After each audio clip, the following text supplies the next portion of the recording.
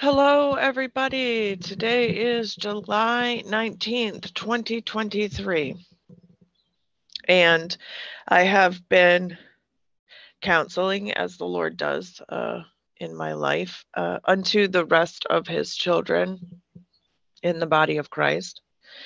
And it has come up a lot and really has been over the years in general, but it's been coming up a lot about the mark of the beast, the mark of the beast, the mark of the beast. And so I have discussed privately with people uh, about what the Lord has shown in scripture to me and what he has spoken to me directly. And I'm not this this this this recording and this message and this post is not about me sitting down and telling you what that specific thing is or is not. That is not the point here. The point is to go over scripture and to, to once again deal with the spiritual, figurative aspects of the Word of God because we are spiritual beings. And Father has said in scripture that he has spoken in parables from the beginning and that it, it takes the Spirit of God to reveal the things of God. And so I'm praying forth that the very Spirit of God and His seven spirits that bring us into the understanding, uh, the counsel, the wisdom of God uh, by the knowledge revealed will come forth from God and help all of us to understand what the scripture has and is really saying about the mark of the beast. Again, I am speaking less today or almost entirely not about a physical partaking, but the spiritual aspects, because sadly, we have a church that is inundated with carnal living and carnal mindedness, which what I mean by that is they are they are facing and focusing their attention on carnal matters from a carnal perspective still. And we have got to be a people of the Spirit. We have got to be a people that are ruled and are reigned by the Spirit of God Himself and become spiritual beings that are being led by his spirit and the mind of Christ and not the mind of the carnal created flesh nature because in that we are run and ruled then by the law of sin and death, which is estrangement. Estrangement being all points and and circumstances that are opposite of how God conducts himself and it is led by ourselves by the creature itself instead of by the creator and so, with this, the Lord has been sitting down with me going over scripture, to which I thought was going to be just a few verses that I would put out, and then I would record the horses or something beautiful for people to look at. And it became a teaching. It took on a life of itself with the Spirit of God revealing these things. And one of the points and premises that he wants to make uh, very clear is that one way to know if you're carnally minded is to be focused is, is that when when you're focused on being marked when someone says humans are marked or being marked do you automatically go to the mark of the beast when you think?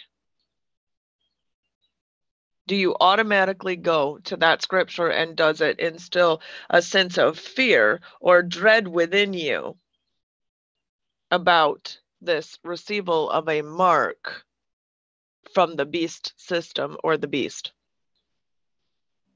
And I say that to help you all individually point out whether you are carnally minded in this or spiritually minded, because there are two marks. There are two seals. A mark is a seal.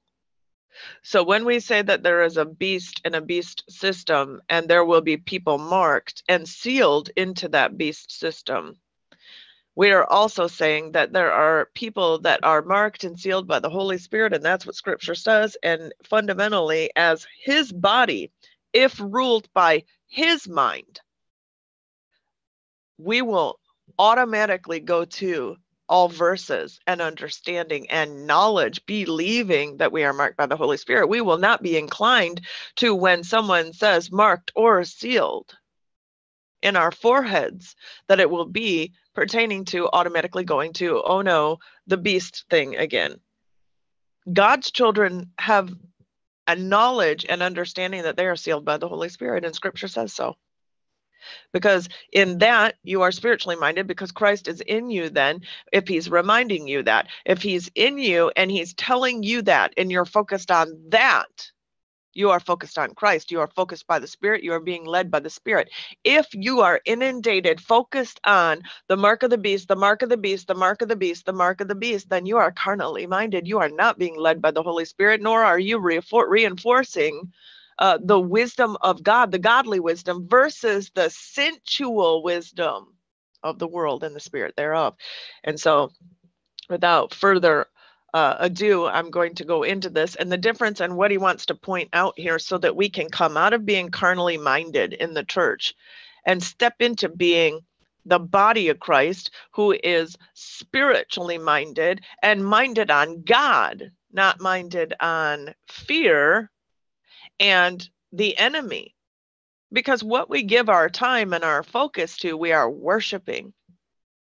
And if we are worshiping the enemy, and we are worshiping the enemy as in the flesh itself, the created being, the beast itself, then we are carnally minded and we are marking ourselves to be carnally minded, and we will have a system that will support that mindedness. So I want to reinforce and reiterate we are to be spiritually minded and led by the Holy Spirit of God.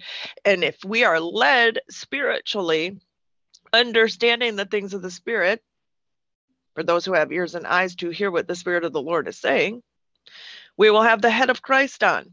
The head the head meaning the chief one the principality. There are two princes vying for you at all times. Two principalities. The principality of the carnal and the fallen and the broken and the leadership of self unto self-preservations or there is the principality and the leadership of God, principality being the chief and highest one, most high in our lives. And that would be the Spirit of God and leading us in spiritual matters to be reformed of our inner man inside, and thereby being sealed and marked by the Holy Spirit who has taken possession of us. And in that, we are not minded on the mark of the beast. The mark of the beast is for two people, two types of people. One, those that don't know God whatsoever at all. They have fallen into that category because they have absolutely no knowledge of Him. They don't know him. They don't walk with him. They are not same as like and become one with him in spirit. And they are they are carnal people. And the other is people who are lukewarm and know about the scripture and the truth, but do not walk it, do not become sanctified, consecrated, and given their lives a life for a life back to God, eh, nor are they becoming one with them. To become one with someone means I attain the similitude of God again within. And the similitude or likeness of God within is a certain character and conduct that He Himself lives. And if He is living inside you, you will be inundated with the conviction to come into alignment with Him in all areas of your life people who don't understand that that is what salvation is. Salvation was a reconciliation, and a reconciliation is a coming back together where one had become disagreeable. And we'll see that later as the definitions roll out. So the lukewarm are saying something with their mouths and they have just enough knowledge and understanding of scripture to hang themselves carnally. Because the lukewarm actually are still worshiping the beast, the created being, the self. They do not want to come out of alignment with sin. They want to continue to walk in the law of sin and death, but yet claim that they walk in the spirit of life in Christ, the spirit of the law in Christ. Life itself. And yet they speak these things with their lips, but their hearts are far from God. Hearts far from God means they are not in alignment, like as same coming into the similitude and likeness of God. Once again, because God came in the similitude and likeness of man, corruptible, to take our place and to give us the opportunity to receive salvation because he wishes for none to perish. But if we do not come back into the similitude and likeness of God, giving a life for a life again, then we will remain lukewarm and under the law of sin and death operating within our hearts because we will not have the law of the spirit of the law of life itself in Christ written on our hearts. And that is why the lukewarm will be vomited out with everyone else who has absolutely no knowledge nor affiliation or commitment unto God. Commitment unto becoming one with Him. One with Him is reconciliation, at one mint. Christ came and blew all the stops out, all the excuses out, and gave us an open door, an unlocked door. But he did say, I stand on the other side knocking, and you have got to open up to me. What that means is we have to do it for real. We have to come into a relationship with him for real. He is real. We are real. That is the truth. Truth in the definition of Strong's is reality. The real reality is the truth is that we are real spiritual beings. He is a real spiritual being. We are having a carnal experience here in a physical body. He came and did the same. He came in the likeness or similitude of man. He is not man, but he came in the likeness or similitude of. So now we have to return to the likeness or similitude of God, who is a spirit being, as like we are, and we need to walk same as him again. It does not mean perfection. If we were to walk in total perfection without flaw, we would be Messiah ourselves, and we are not. We are God's children but we are to come into the similitude of him again, which means character and conduct righteousness. In Strong's, one of the definitions is equity, and equity, when you look it up in Strong, says like same actions and deeds in character. So we have to be desiring to have like same deeds and character as God again. Again, we are not held to the penalty of the law or the letter of the law. He said that that brings death because we can't do that. We can't do it perfectly like him. It's why he needed to come. It's why he needed the second testament. The first one was not doing it. It wasn't achieving all that he wanted. He came and he fulfilled the Old Testament, which is he was the lamb, he was the high priest. He came and he rocked out the law completely. He did not infraction it whatsoever. He became the Old Testament perfectly. That's why it's not done away with. He became it. So now we have the ability to live in and with the Old Testament God because all that sits on the throne in Yeshua and we're forgiven of our trespasses, which means our sins against him, our offenses against him, we're forgiven of that.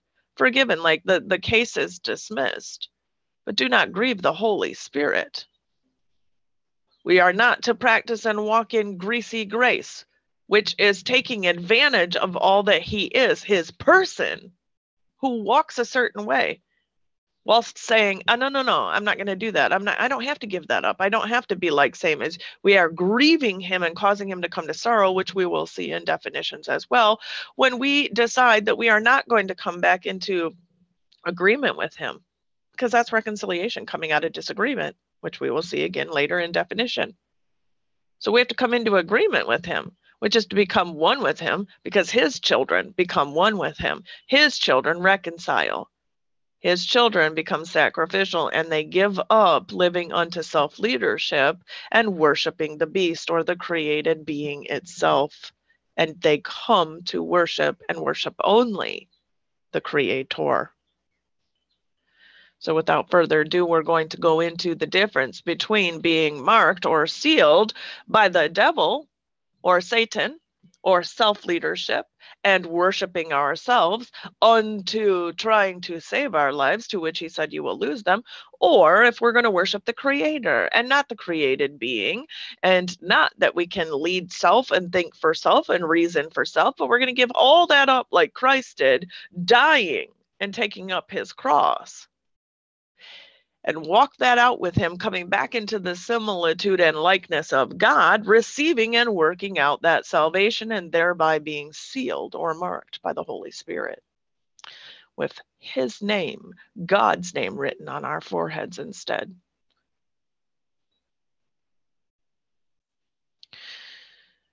In Strong's, these are Strong's definitions G2226, beast Definition a living thing that is an animal. 2342 beast a dangerous animal, venomous, wild beast. Definition animal in the dictionary a living organism typically having specialized sense organs and a nervous system and able to respond rapidly to stimuli a mammal as opposed to a fish, reptile, or an insect. A person without human attributes or civilizing influences, especially someone who is very cruel, violent, or repulsive, relating to characteristics of animals, characteristic of the physical and instinctive needs of animals of the flesh rather than the spirit or intellect. And these are the definitions in the dictionary. So first we realize that the definition of an animal or a beast, because we roll back up there and it says that it is a dangerous animal, a venomous one at that, and I think we should take note of that. It's a living thing in scripture, an animal. So we realize that it's a living thing. It's a living organism, the beast or the creation. And it's typically having sense organs and a nervous system. So we can think, we can emote, we can feel, we can taste, and it responds to stimuli. It's a mammal as opposed to a fish, reptile, or insect. So this is a specific kind of creature that we're talking about. One that is as like a mammal um, and a human is made as like a mammal. We feed young by milk and we give birth to we give live birth opposed to eggs. And without human attributes or civilized influence, we need to take note of that because this is what I'm talking about when we worship the created thing. God is saying, You are like as brute beasts, he said in scripture, did he not? Uncivilized and influential at that, especially someone who is cruel, violent, or repulsive. And this would be towards other people. So again, when we walk with Christ, we're walking humbly. When we walk by the Spirit of the living God, he walks humbly and sacrificially and in servitude to others, not cruelly, violently, or repulsive. This is the this is the epitome of me and my four and no more. Relating to characteristics of living animalistic. This is why I say that the carnal the carnal nature, the flesh nature is a base animalistic survival nature. It is characteristic of the physical. So they're going to try to save their physical flesh, actual body, and instinctive needs of an animal. So, again, um, the people who are going to receive a mark of a beast in any way, shape, or form, spiritual or literal, are going to be people trying to save their flesh, literally trying to save their skins of the flesh. It lives unto focusing on and worshiping the flesh. Flesh is most important, body is most important. We must save our skins and our lives here in this material because that's all there is, rather than the spirit or the intellect or wisdom of the spirit. Revelation 13, 15 through 17. And he had power to give life unto the image of the beast, that the image of the beast should both speak and cause. Okay, so now the image of the beast, or the similitude and likeness of a beast creature, is both going to speak and cause. Well, out of all animals or mammals, humans are the only ones that I'm aware of that can speak outright in this world and cause an action to take place. So the Antichrist that's working with this is going to be working with people and persons who both speak and cause actions, and they are in the similitude of the beast carnal nature. Worshipping it that as many as would not worship the image of the beast should be killed. Okay, well, let's think scripturally, spiritually figurative. If we're not going to worship the image of the beast or the created ourselves as most important, self, self, self, pride, pride, pride, the carnal, base, animalistic nature, if we're not going to do that and we're going to live by the lead of the spirit with the head, our principality on us being Christ, then we're going to be killed. You can take that literally. I'm not saying that people are not going to die literally, but I'm saying we have to take that spiritually, figuratively, symbolically here to get the understanding that the Spirit is giving us. And that is to be to die to the self-led and carnal worshiped type of living. We have to die to self. And we will die to self if we are choosing not to worship the image of the beast or the likeness and similitude, the agreement of the beast as being most high. And he causes all, both small and great, rich and poor, free and bond, to receive a mark in their right hand or in their foreheads.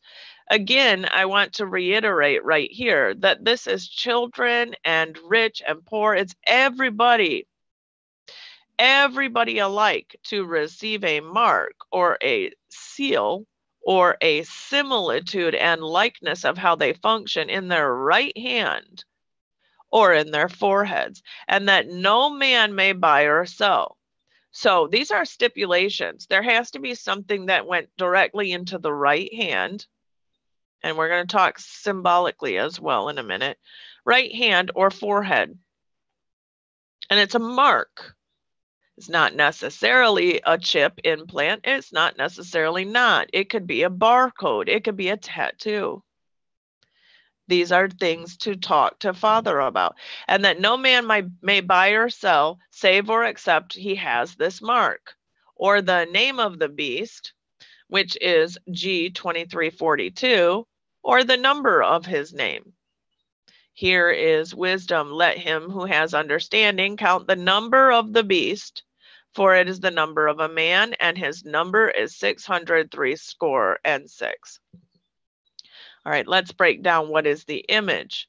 That's the likeness, the profile, or the representation in resemblance. So when we go back up here and it says, they would not worship the image, that's worship the profile or representation and likeness and resemblance of the beast. So we're not going to worship that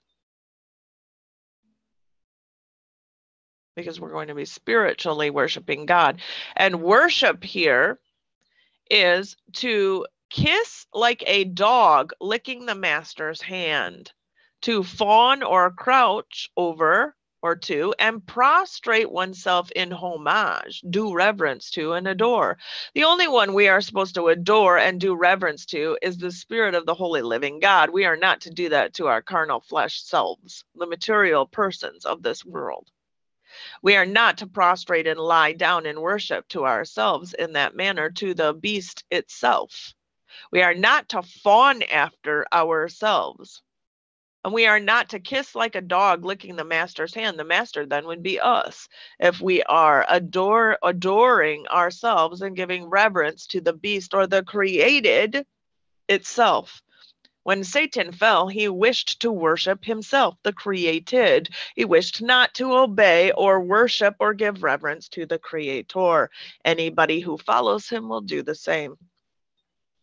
Mark a scratch or etching that is stamped as a badge of servitude or sculptured figure, statue, graven image. So when we say that we are worshiping the beast or not, depending on which category you fall into, that is the created being itself, there will be a scratched etching or a stamp. This is why I say it can be like a tattoo or something that is um, engraved in the skin, which would be like a branding. as a badge of servitude. So if we're going to take the mark of the beast, it would be unto serving the beast, following along with the rules and systems of this governmental system down here to try to save our carnal skins, carnal lives. That's all there is. Everything should be worshiped. The carnal should be worshiped. Life itself is this body you have, and after that, there's nothing. That's the mentality of that person. No trust in God, no trust in where they came from or where they will return to or whom. But when we serve the holy living God and we are coming into oneness with Him, we're being reformed, letting Him do His handiwork. We are the handiwork of the Lord and come back into the similitude and likeness of Him, becoming sanctified, cleaned up, scrubbed, and ironed out in our conduct vessels who are consecrated unto Him and only Him and worshiping the Creator versus the created ourselves we will then have a badge or a mark on us of servitude to God sculpted figure or statue, a graven mark. So it will be engraved on a figure. That will be us. Right hand here in in and as we speak of the right hand when it's talking about the mark of the beast, the definition here is through the idea of hollowness for grasping that would be like if you make your hand in a cupped shape, there is a hollowness there. For grasping, it's the hand, or literally or figuratively, which would be spiritually, power, especially by in Hebrewism, in Hebraism, a means or an instrument. So, a means of power is our power in us in preserving our lives, in buying into a system down here and the way it is to survive in the carnal flesh? Or is our power and the instrument of our salvation in Christ, in God, in the spirit realm, and in the Almighty, self existent, eternal one, Jehovah Himself? Because those will be marked in their, in their power or their right hand by God. So again, I there is a physical literal to scripture and there is always a symbolic figurative spiritual and we're talking about that as well. Again, another definition there's two Greek um two Greek Strong's definitions back to back pertaining to right hand and it means the right side or hand as that which usually takes right-handed side. So again, if we're speaking on the literal physical, you'll take a mark, an etching, uh, which would be an engraving or a tattoo type thing, into your right side hand. Or we need to understand that means the side which usually takes. Are we are we takers unto ourselves to preserve our flesh carnal lives? Or are we taking to God to preserve our eternal spiritual souls and spirits with God, not loving our flesh lives or carnal suits unto death. Foreheads here in scripture that they take the mark in their right hand or foreheads is G3359 and it literally means forehead or the face. So there's a literal aspect that will take place that there will be some sort of etching there. However, the spiritual impact is you're signed on your forehead already by God or by the beast system and the Antichrist or Satan. Already spiritually, with which you actually worship from your heart within. Forehead being where what what what is on the the forehead is the area on the outside of us that labels what is behind it. What's behind your forehead but your mind? Are we minded on Christ or are we minded on ourselves and working with the sin and death law still in us that we don't have to reform? We don't have to be in any way, shape, or form returned back to the image or likeness and similitude of the Holy Spirit, of which we came from, God being the holy entity we came from, to where we got corrupted and twisted and dirty in muck and mire and Satan scales, to which we need to get scrubbed or sanctified by the word of God applying it to our lives because he said, work it out, which means practice it. Becoming consecrated to him, which means I will solely serve you and only you.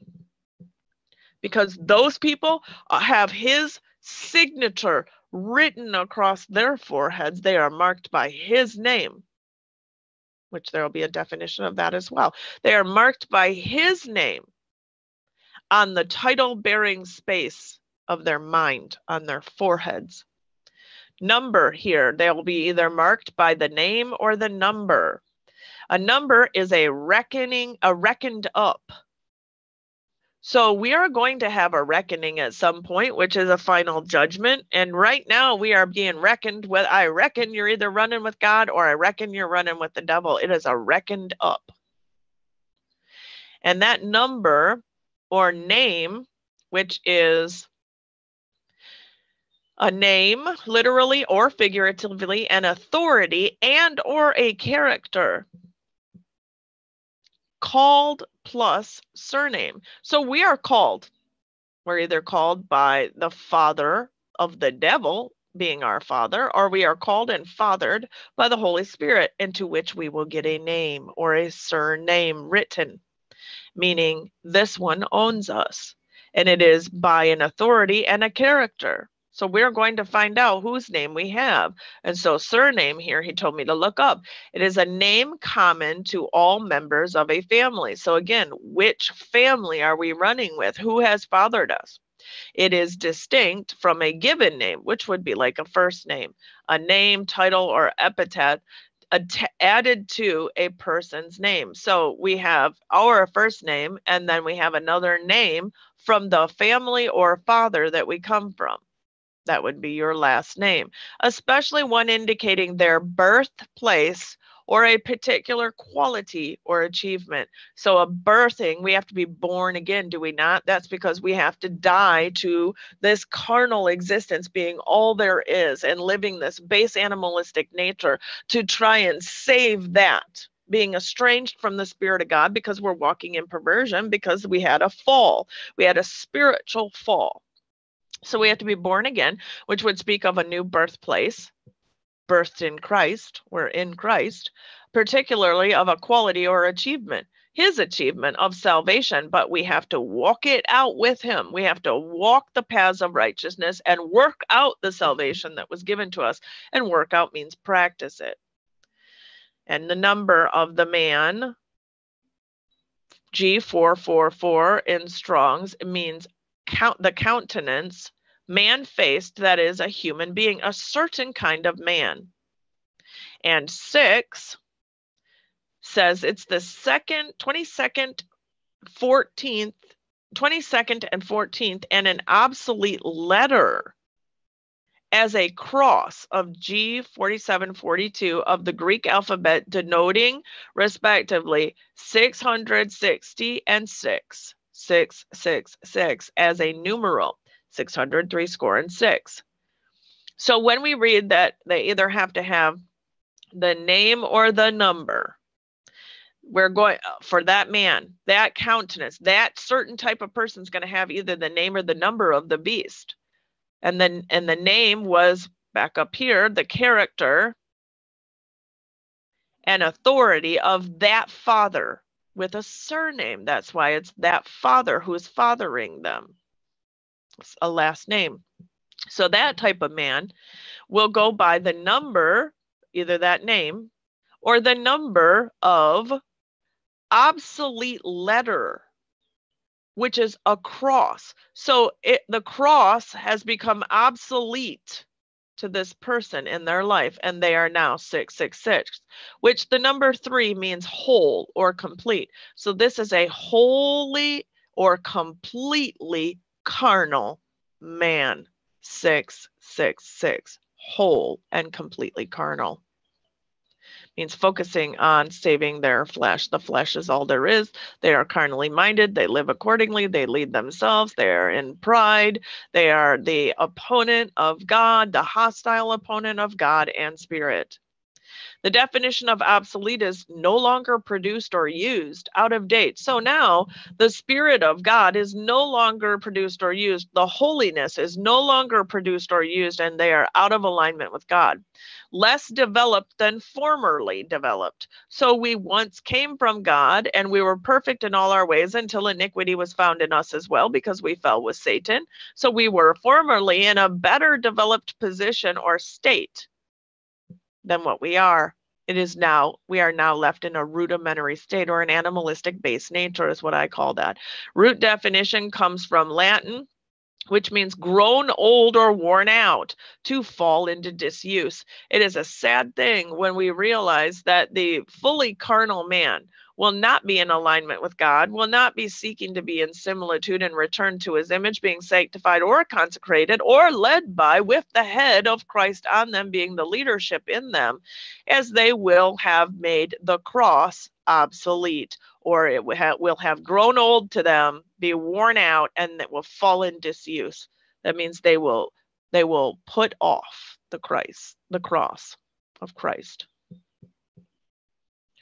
the cross, the seal.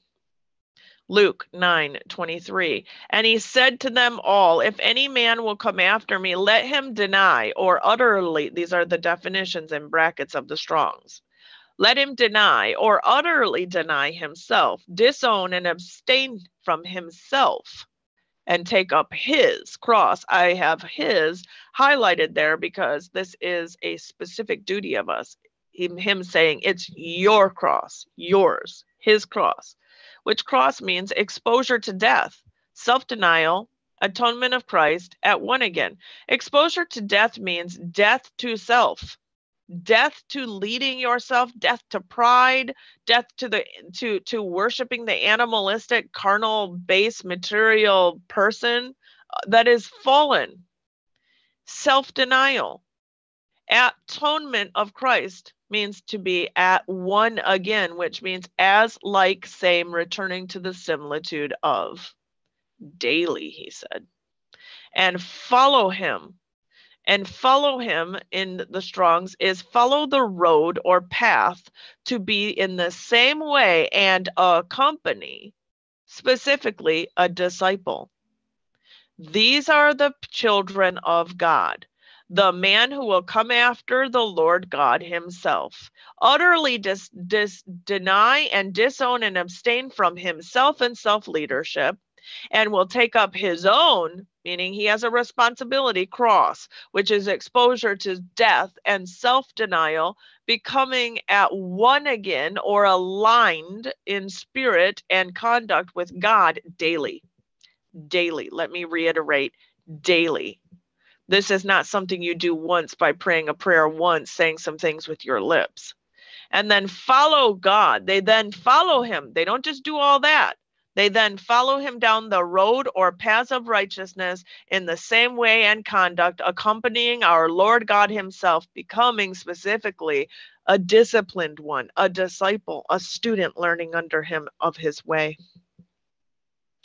Matthew 10 38. And he who takes not his cross or exposure to death, self denial, atonement of Christ, and becomes one with him again, and follow after him the road, the path of righteousness, to be in the same way, and accompaniment with him, specifically a discipled, disciplined student of his, is not worthy of him, which means deserving, suitable, or due reward.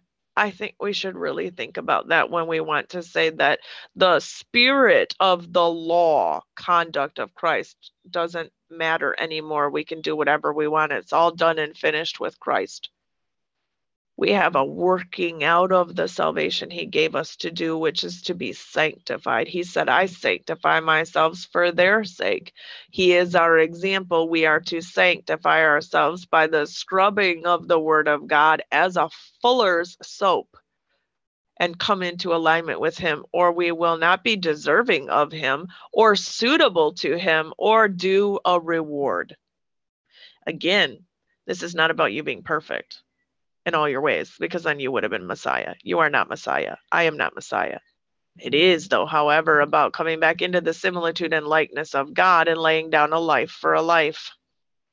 He came in the sinful similitude of man when he wasn't. And so now that we are a sinful man, we need to come back into the similitude or likeness of God and return to his image. Mark 10 21. Then Jesus, beholding him, loved him and said to him, There is one thing you lack. Go your way and sell whatever you have and give to the poor, and you shall have treasure, which means wealth, in heaven. Treasure in heaven. Treasure in heaven, not earth, heaven the abode of God. And come, take up, lift, raise, suspend, and expiate sin and put it away. The cross exposure to death, self denial, atonement of Christ at one again, same as like one in spirit, and follow the road, the path of righteousness to be in the same way and accompaniment of God, specifically a disciple with God, a disciplined one. Expiate, make up for guilt or sin. So he's expecting us to make up for guilt or sin because the definition of take up that's why it's important to look up the Strongs. Means lift, raise, suspend, and expiate sin. That means put it away. We have to put it away. We cannot walk in it knowingly. Even Paul said, if you have now come to the truth and still continue in your sin, God forbid, because that's willful sin. That's what Paul said. So he expects us to make up for a guilt or a sin by expiating the sin, putting it away and, and, and the root definition of expiate means to end, like rage or sorrow or whatever other sin and contrary conduct of God, by suffering it to the full. So we have to end it by suffering. He said, You will suffer in my afflictions. You will be persecuted because you're not going to work by the spirit of the world, by the spirit of the air down here, the spirit of the age that's down here. We're of a new age. We're of a different place, a different kingdom. And we're going to suffer to the full. Appeased by sacrifice, we have to live sacrificially. If we don't live sacrificially, we are living pridefully. To sacrifice is to give up things for someone else or for the benefit of something else. Pride is the opposite of that. Pride is me, my four, and no more, and I'm going to try and save my own skin. We have to be, uh, be appeased by sacrifice, means out plus pious. The definition of piety means religiously reverent. Root definition from comes from Middle English means pity. And it comes from French and Latin which means dutifulness. See pious. So this is the definition of pious. Dutifully pitiful. That pitiful would be lowly and humble, and that is our duty. Save yourself, the beast, the created material when one will not sacrifice, face death, but instead will worship the flesh, one will come down from their cross. Mark 15 30, save or deliver, protect, and preserve yourself and come down, descend figuratively or literally from the cross or exposure to death, self denial, atonement of Christ, and at one again. This is what they said to Christ while he was on the cross Save yourself, come down from the cross. When one remains and endures their cross, they are sealed by God. John 19, 17. And he, bearing or enduring, sustaining and receiving his cross, exposure to death, self denial, atonement of Christ at one again, went forth into a place. And place here, just like in Revelation, when it says that the woman is going to be whisked away into the wilderness, a place where she will be nourished when it says that, the definition of place in both of those spots, here in John and there in Revelation, means a spot or a condition or opportunity, a scabbard, which is a sheath for a sword.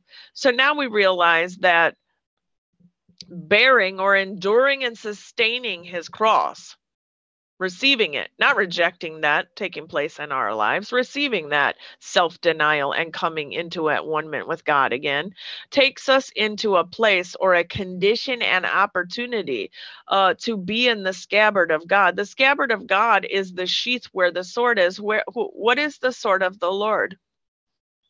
The word of God. The what of what is the word of God? Yeshua, the Messiah where are we supposed to live? in Messiah, in Christ. And will go forth into the place of Messiah, essentially, called the place of the skull and the cranium. Who is who is, when it says that Christ went forth into a place called the place of a skull, which means cranium. The he what did he say? I only mind what the Father shows me and tells me to do. That's it. And so we need to remember that we're going to go into the place of the skull too. And in the place of the skull, we are either going to be minding the beast with his name and number there, or we're going to be minding Christ with the signature and the seal and the mark of the Holy Spirit there because the Holy Spirit has been upheld as high. The crea- creation has been thrown down or humbled, and the Creator has been put up in his place as most high within, which is called in the Hebrew Golgotha or the skull. We need to really think about that. And the definition of endure here in, in the um, dictionary is suffer, something painful or difficult, patiently, last through. Root definition comes from a Middle English and French, uh, which means harden in plus hard. So hardened, which means resolute and determined, unwavering, and single minded. We have to have that single eye. Christ told us that. That's the perspective of God. Matthew 24 13. But he who shall endure or stay under and remain, undergo, bear up in trials, have fortitude to preserve to the end, set limit, conclusion of the actions or state, termination of, result and purpose, the same shall be saved or delivered, protected, preserved, do well, and made whole. So we have a process here. We have to endure to the end, he said. And if you endure to the end, then the same person will be saved. Okay, that's the gist of it. But what we, we, we really see when this breaks down is that the one who endures will stay under and remain undergoing the trials, bearing up under them, having fortitude. That is that that re- resolute character to to stick it out and persevere, persevere to the end. To the end of what? the set limit or the conclusion of that action and state that the Lord God has us dealing with and on and undergoing until the termination of it or the result and the purpose is fulfilled of it. And the same person will be saved or delivered, protected, preserved, do well, and made whole in the end of that. So we have got to bear up in this world under what he's going to put us through in our refinement process.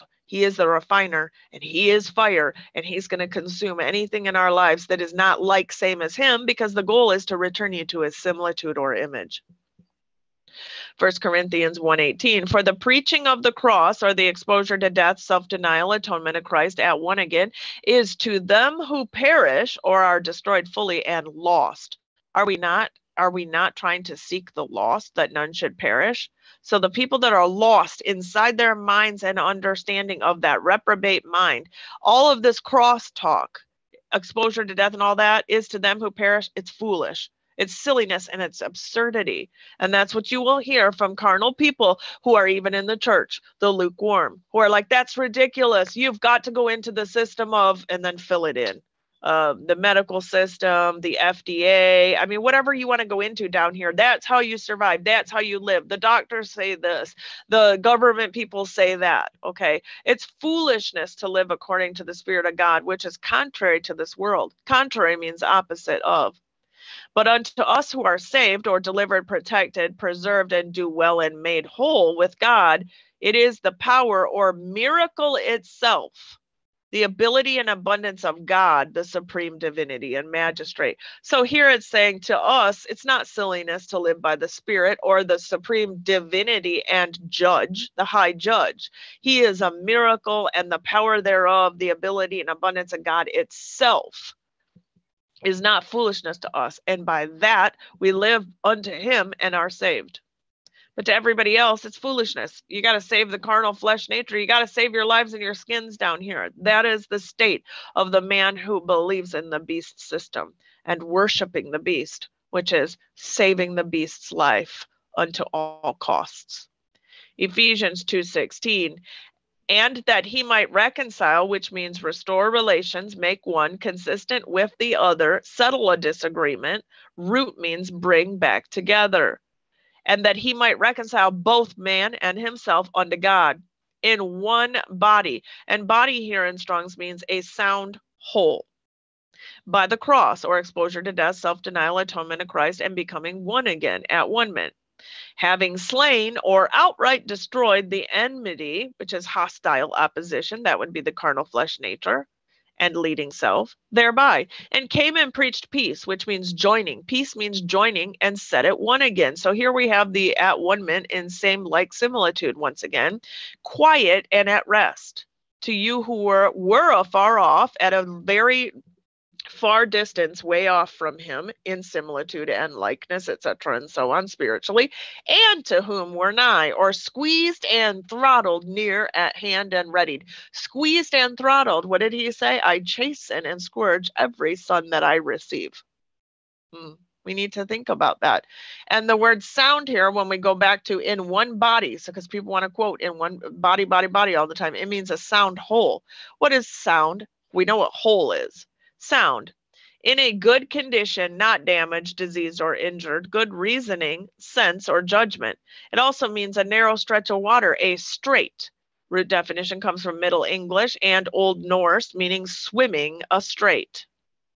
And in Matthew 7 14, he said, Because strait, which means narrow, from obstacles standing close around about us, is the gate or entrance, and narrow, crowded, afflicted, and thronged in suffering of tribulation and trouble is the way we will go on the road of righteousness, progress, route of actions, or distance, mode and means of the journey here with God, which leads or takes off and puts to death.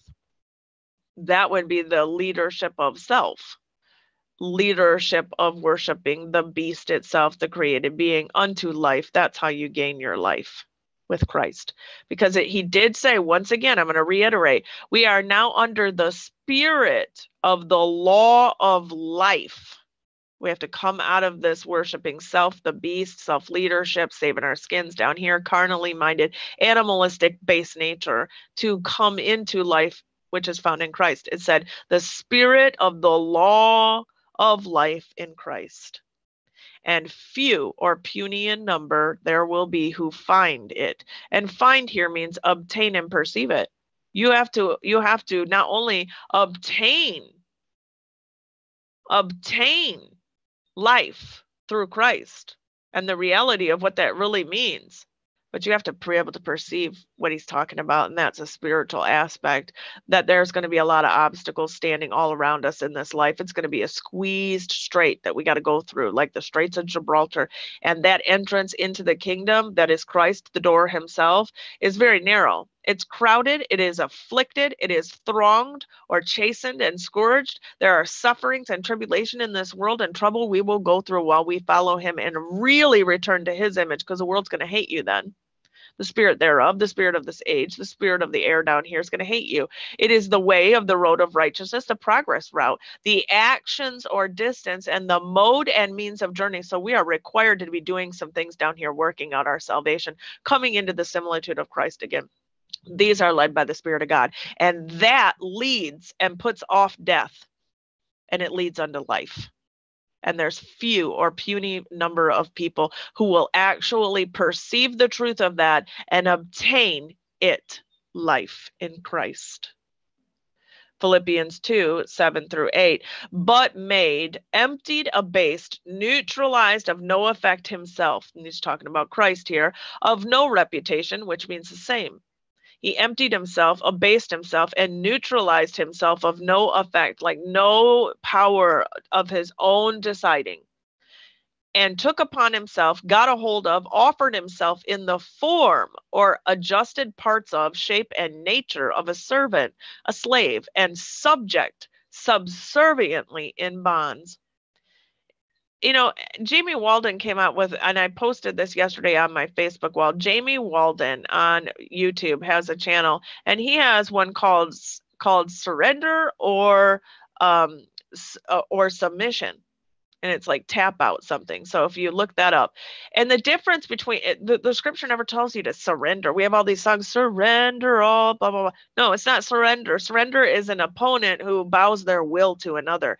Every knee and tongue will bow, even the devil but to be subject to and subservient in submission to God means your heart bowed as well as your will.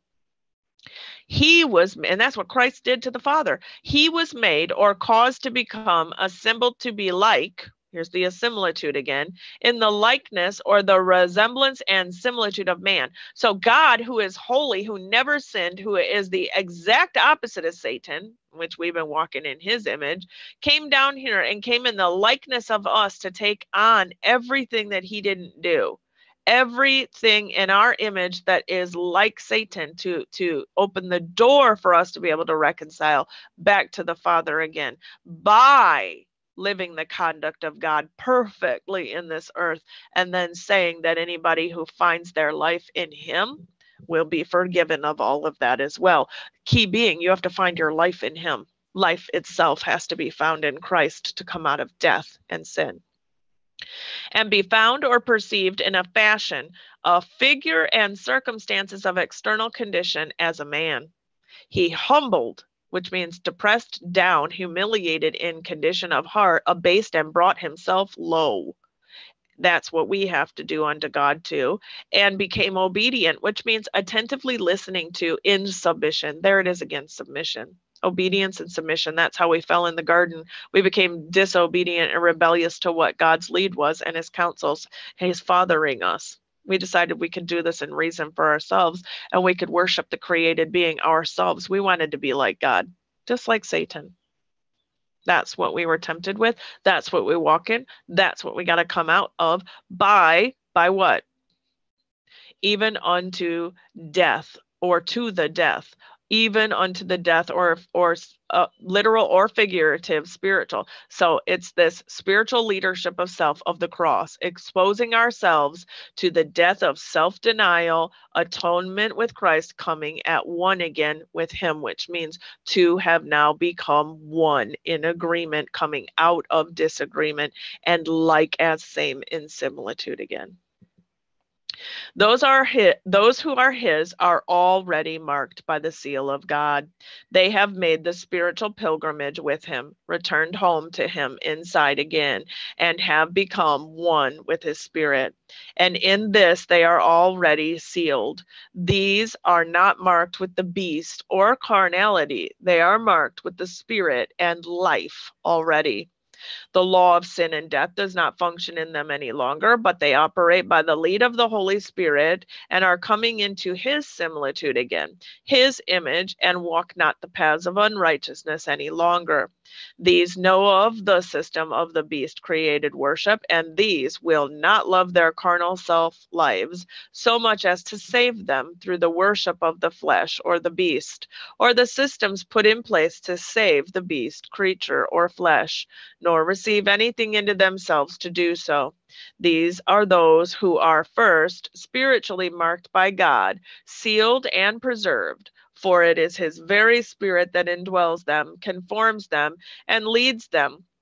These know where they are heading and who is inside living with them, leading them home now, and enduring who is faithful to his children.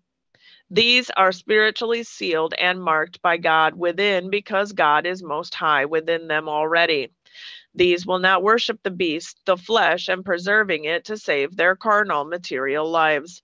These know from dust they came, and to dust they will return. These have undergone the transformation process of sanctification and consecration. These worked out their salvation with their God.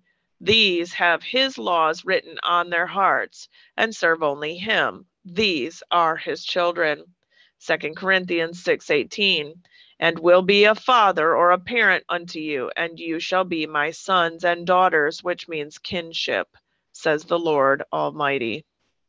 John 6, 27. Labor not for the meat which perishes. That would be the sustenance, what, what keeps us uh, afloat.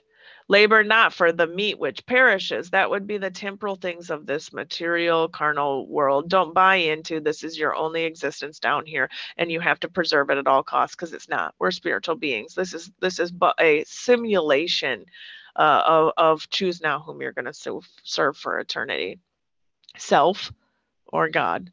But for that meat which endures unto everlasting life, and life is only found in Christ, which the Son of Man shall give unto you. For him, that person, God the Father has sealed. Second Corinthians 1 21 through 22.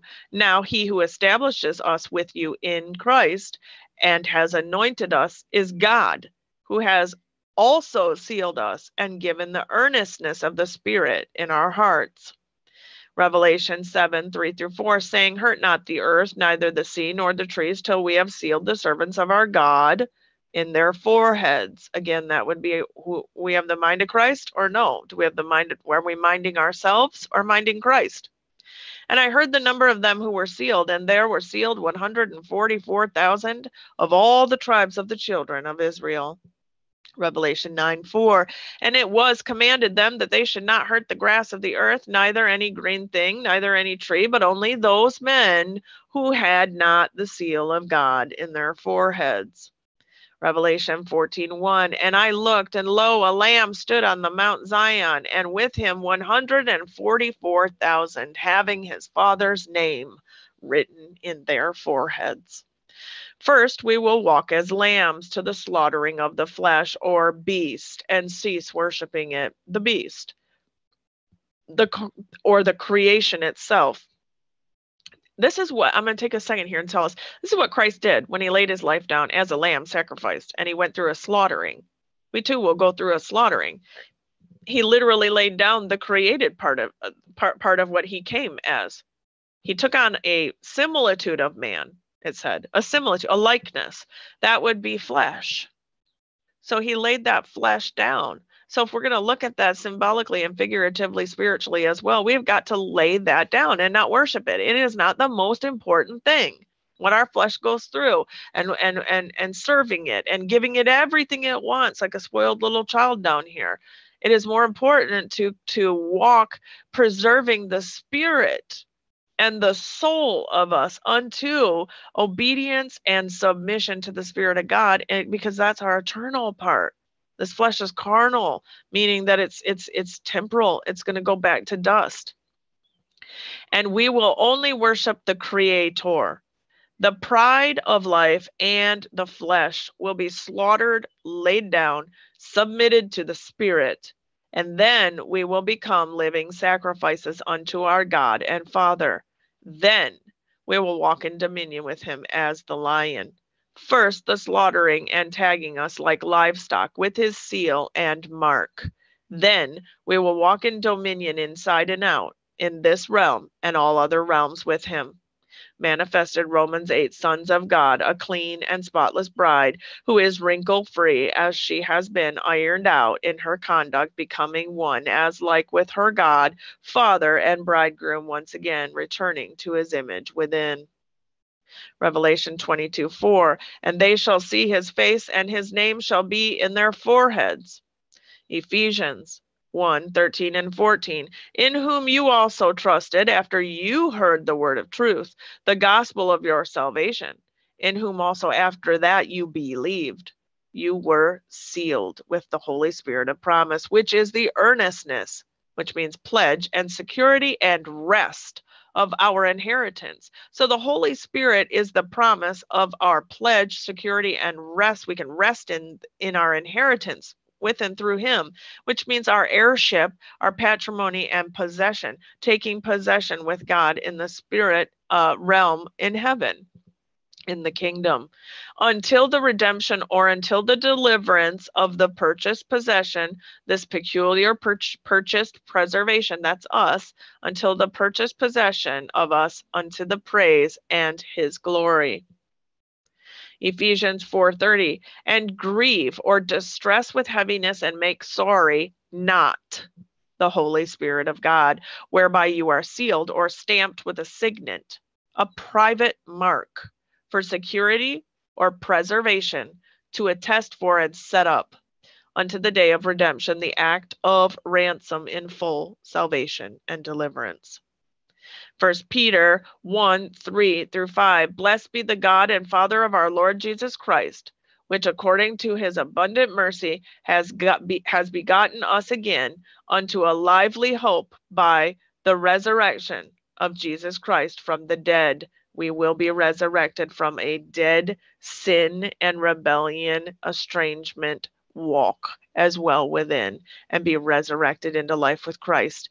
If we are of Father God, Holy's children and family, unto an inheritance incorruptible and undefiled that fades not away and is reserved in heaven for you who are kept by the power of God through faith unto salvation, ready to be revealed in the last time. And the two shall become one flesh. Genesis 2 24.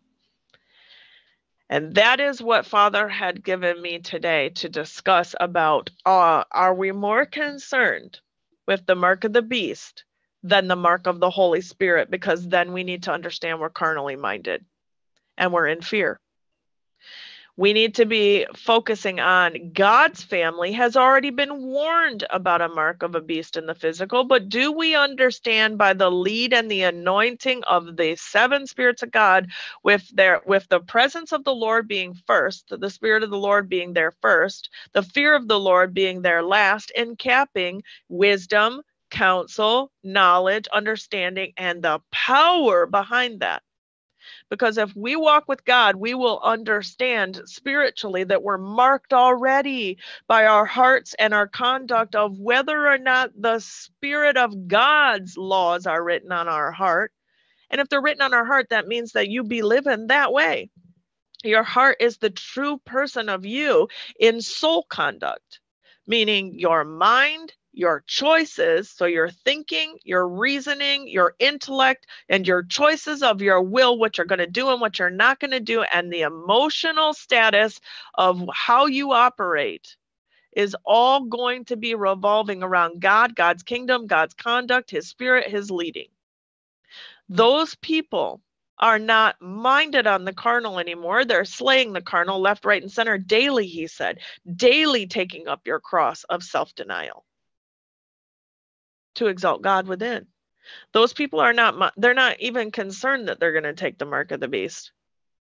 The mark of the beast is for people who do not come from the kingdom of God. The mark of the beast is for those who actually don't know him whatsoever for real, spiritually speaking, because he's a spirit. They know him in a carnal sense from a twisted and perverted, uh, sensual, devilish wisdom from down here, it says. They can quote scripture, but they can't live it. They can teach the truth, but they don't walk it out. They don't know him. Depart from me. Whoa, whoa, whoa, whoa. I served you my whole life and I cast out demons and I was in the ministry and I, I led Bible study and I or I, or I was I was a worship leader. I don't know you. Depart from me, you worker of iniquity. They worked lawlessness. People want to talk about how the law it doesn't. It, there's no law or conduct anymore that we have to come back into similitude of. Yes, we do. Christ in Christ. Christ conducts himself a certain way, and if he's in you and you in him, you will conduct yourself as like Christ.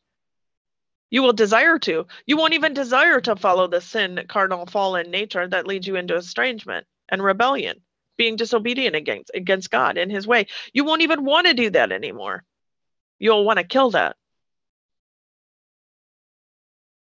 We have got to be minded that there is a process here that God is bringing us into, which is getting cleaned up and sanctified by the word of God, coming into the likeness of God again, coming into reconciliation. The whole purpose of salvation was to reconcile us to God, period, hands down. Reconcile means to come into agreement with Him again, as like same. Righteousness, the definition of righteousness in the Strongs, is to walk out the equity which means equal to in character and actions. He's not looking for us to be uh, completely without error.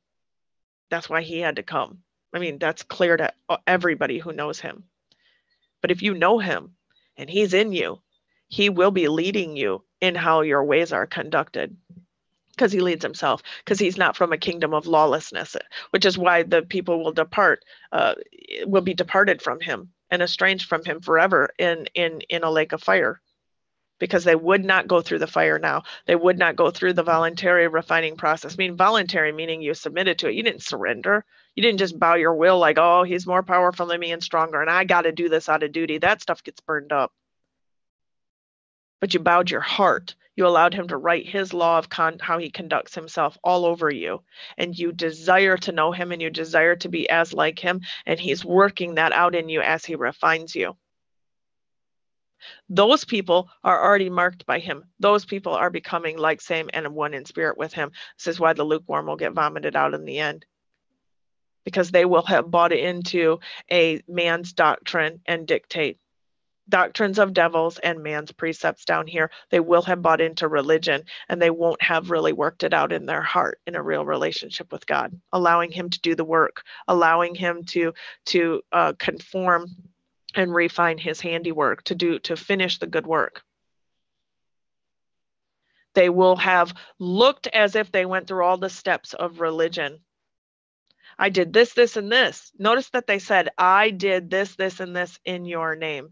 And he's like, I didn't know you because it wasn't God doing those things with the person, through the person, in alignment with and leading them. It was they did all those things. Do we see that? They worshiped the beast. This is why they will be cast out. And he says they will be cast out into utter darkness with wailing and gnashing of teeth.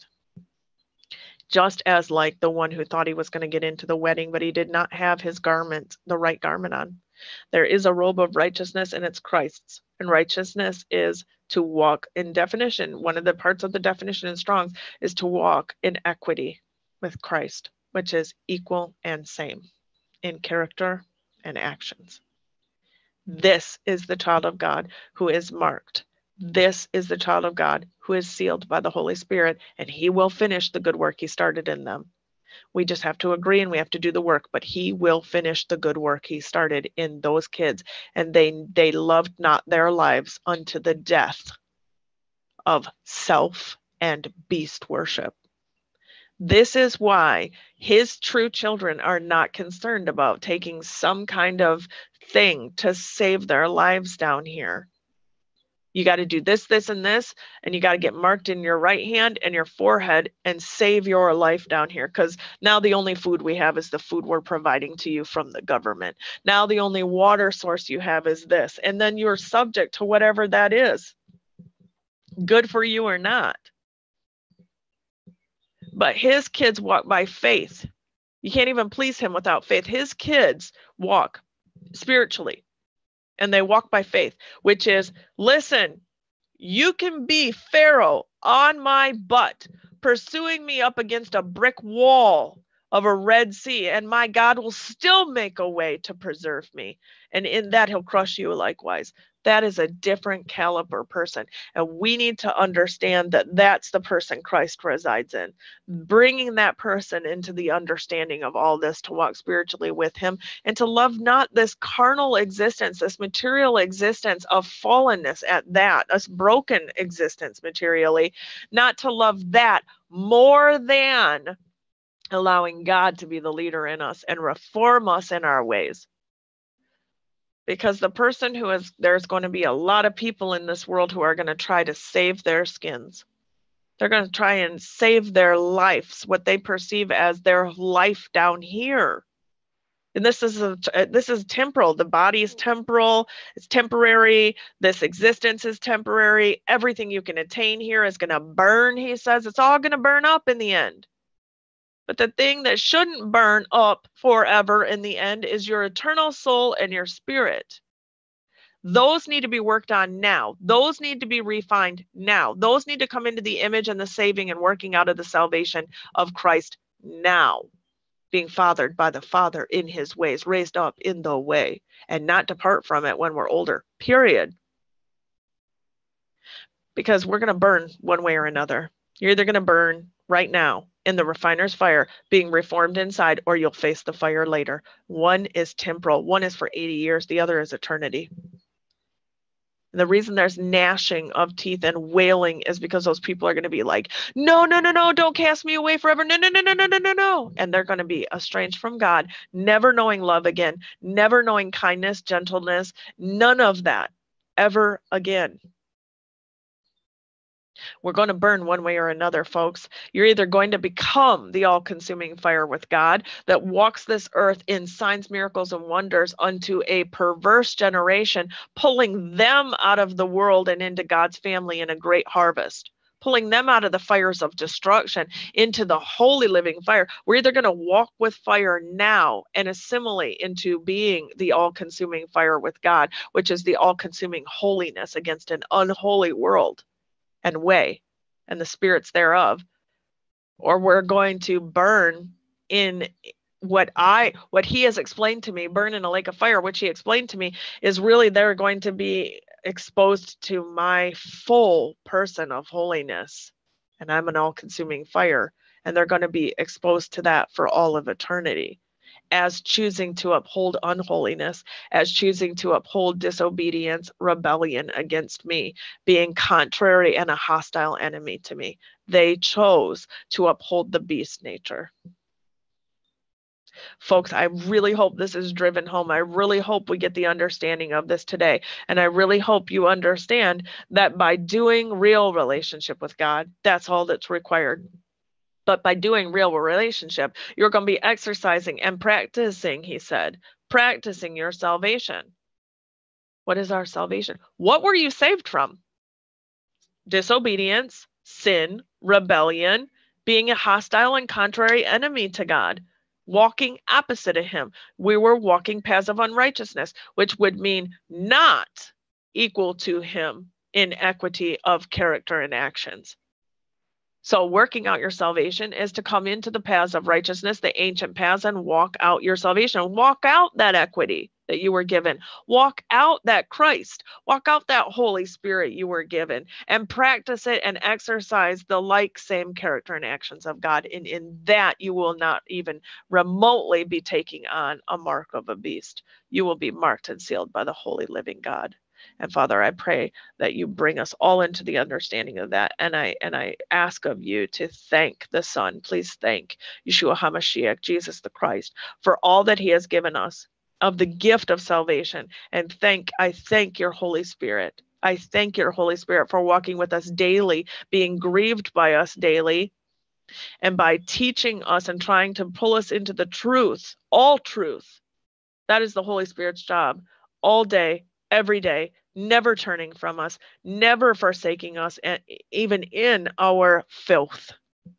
As we work and effort with you to scrub our garments clean and then to get ironed out as well in our conduct so that we have the proper garment when we enter in, so that we take the robe, we take the mantle that your son draped over us. We've been given the righteousness of Christ, the robe of righteousness of Christ. We are mantled by God. May we walk worthy of that mantle in truth and in spirit.